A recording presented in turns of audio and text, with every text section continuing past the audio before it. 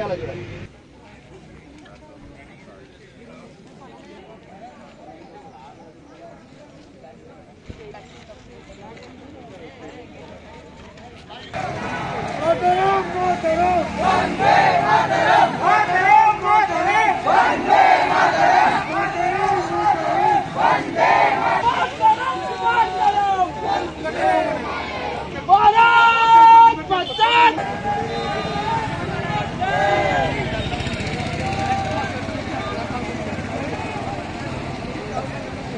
ఈ కార్యక్రమంలో పాల్గొంటున్న మన మహోత్సవం జరుపుకుంటున్న సందర్భంగా మీకు అందరికీ శుభాకాంక్షలు.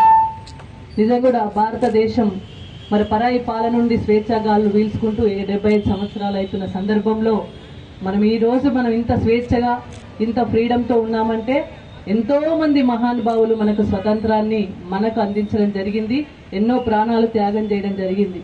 మనం ప్రతిసారి మనకు ఒళ్ళు గగురు పొడవాలి. ఎందుకంటే భారతదేశం అంటేనే అన్ని మతాలకు సామరస్యంతో మత సామరస్యంతో ఉన్న మన దేశం అన్ని రాష్ట్రాల కలయిక. ఇరవై తొమ్మిది రాష్ట్రాలలో కూడా మాట్లాడే భాష వేరైనప్పటికీ అనువదించే విధానం వేరైనప్పటికీ కూడా కానీ అందరం కలిసి ఒక భారతదేశంగా ఇరవై తొమ్మిది రాష్ట్రాలతోని ప్రపంచానికి ఆదర్శమైన రాష్ట్ర ఆదర్శమైన దేశంగా మనం గుర్తించబడుతున్నామంటే ఎంతో మంది త్యాగదన్ను మనకిచ్చిన ఈ స్వేచ్ఛా గాలులే మనం పీలుస్తున్న ఈ స్వేచ్ఛా గాలులే. అందుకే మనందరం కూడా గర్వించదగిన దేశం.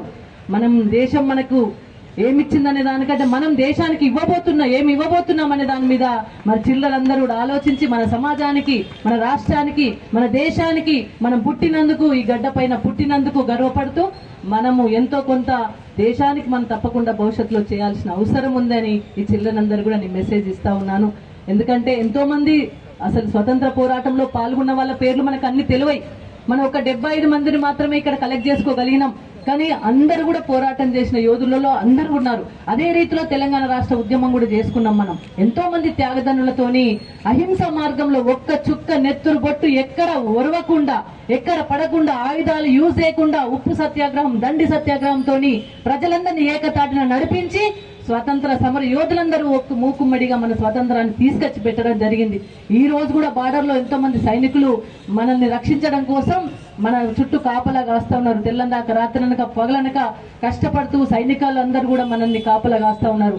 రైతులు మనకు అన్నం పెట్టి కాపాడుతూ ఉన్నారు. కార్మిక కర్షక రైతు సోదరులందరూ కూడా ఈ దేశాన్ని మరి ముందుకు తీసుకెళ్ళడంలో ముందుంటున్నారు. కాబట్టి వాళ్ళందరినీ కాపాడుకుంటూ అన్ని రాష్ట్రాలను కాపాడుకుంటూ అన్ని రాష్ట్రాలను ఏక ఏక ఐకమత్యంతో ముందుకు తీసుకెళ్తూ ఈ భారతదేశం అంతా ఒక్క తాటి మీద నిలబడి ముందుకెళ్తున్న సందర్భంలో ఈ సంపద సాంప్రదాయం మన పద్ధతులు అన్ని కూడా మిగతా దేశాలకు ఆదర్శంగా నిలిచినాయి. నిజం కూడా మన కరోనా వచ్చింది. ఇంతకుముందు చెప్తే నాకు గుర్తొచ్చింది. కరోనా వస్తే మిగతా రాష్ట్రాల్లో ఇమ్యూనిటీ పవర్ లే మిగతా దేశాల్లో ఇమ్యూనిటీ పవర్ లేక వాళ్ళకు వాళ్ళ దగ్గరలో మన దేశ మట్టిలో మయముంది మన దేశ సంపదలో మయముంది మన దేశ సాంప్రదాయంలో మయముంది మన దేశ ఔన్నత్యంలో మహిమ ఉంది కాబట్టి మనం దాన్ని తిప్పికొట్టగలిగినాం. కరోనా లాంటి వాటిని కూడా మనం తిప్పికొట్టగలిగినాం. ఒక మట్టి నేను చిన్నప్పుడు చూసేదాన్ని నిజంగా కూడా.